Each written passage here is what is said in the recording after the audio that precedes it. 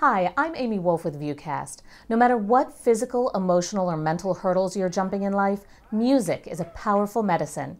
At the Vanderbilt Kennedy Center, a unique camp has folks with Williams syndrome rubbing shoulders with stars like Carrie Underwood, Darius Rucker, and Wynonna.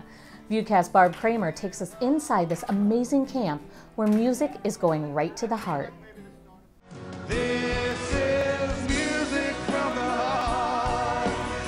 It ends here on the Grand Ole Opry stage, singing with Darius Rucker. Music we can sing everywhere we go. One, two, three. But it starts here at camp at Vanderbilt, practicing their music. Welcome to our lives. Second year camper Betsy James loves it. God gave us a brain and the ability to have a craving for music like we do. That's just really something. All right, so the intro is going to be real short. It's gonna be like Camper Brendan Lemieux has been here six years. I love it. Every year is different, you know, different experiences, you meet different people, and it's it's a lot of fun for me.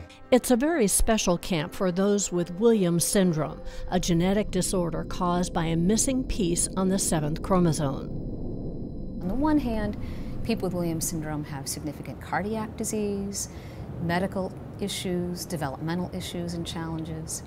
On the other hand, they have this remarkable love of music, unusual auditory processing. They're very interested in people, huge heart, lots of empathy. We live in harmony. Dykens started the camp seven years ago, and this is the largest group yet 31 campers from age 16 to 40. Tried a big hit. This is the second year that the Academy of Country Music has sponsored the week long Lifting Lives residential camp. Professional songwriters and singer Gary Allan helped the campers write original songs. Some of them threw out um, like good rhymes, like that made sense. That were like, you know, it's amazing how sharp they are and how engaging they are.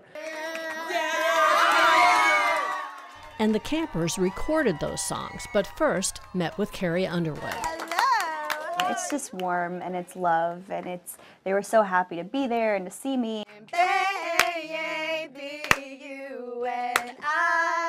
It just made me happy, um, and I didn't do anything. I just walked in and said hello, and um, we all were singing songs together before you knew it.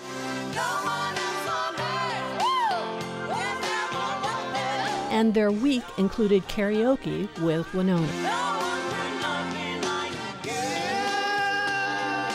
These kids were all about the music. They knew exactly what to sing. They knew when to sing it. You could tell they'd been practicing, and it's their their passion. Research, too, is an important part of the camp to determine why music affects the campers so deeply. This year, researchers utilized non invasive EEG and brain imaging to see how campers' brains respond differently. They may learn in a different way, they may pick up things in a different way, so we need to figure out how best to kind of tap into those natural strengths that they have and help them with day to day kind of quality of life issues like fears, anxieties, and being able to be resilient when day to day stresses kind of get you down.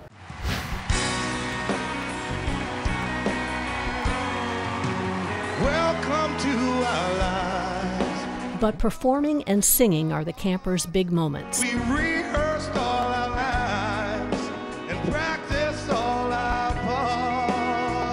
Like singing live with Darius Rucker at the ACM Award Show.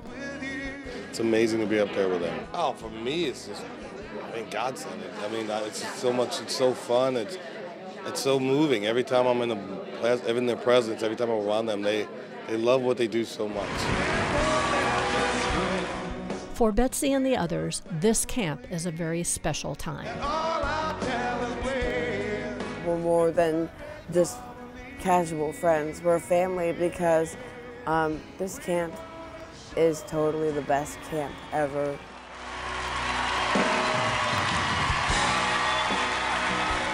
For VUCast, I'm Barb Kramer. Right now, there are only three Williams syndrome camps in the country. Vanderbilt has the only camp with a major research component. Directors hope their findings will lead to a new treatment for all people who struggle with anxiety.